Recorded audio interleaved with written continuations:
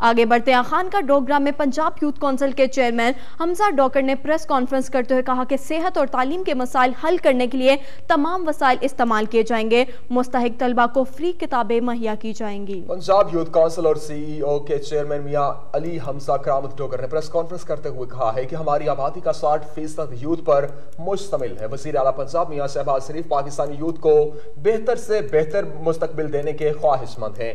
Punjab youth council के जेर इंतज़ाम जिला तहसील और टाउन कमेटी की सतह पर यूथ काउंसिल बनाई जा रही है, जिसमें सिर्फ़ नौजवानों को शामिल किया जा रहा है। मेंबरशिप में मुतवस्त तबका से ताल्लुक रखने वाली यूथ को अहमियत दी जाती है। पंजाब यूथ काउंसिल सूबा भर में तालीम और सेहत पर खसूसी तवज्जो दे रही है। मुस्तक तलबा के लिए फ्री किताबें मुहैया की जाएँगी और पंजाब यूथ काउंसिल के ज़रिए तमाम फ्री मेडिकल कैंप भी लगाए जाएँगे, जिसमें क्वालिफाइड डॉक्टर्स के ज़रिए लोगों की फ्री चेकअप और इसके साथ साथ उनको फ्री अद्वियात भी फ्राहम की जाएँगी।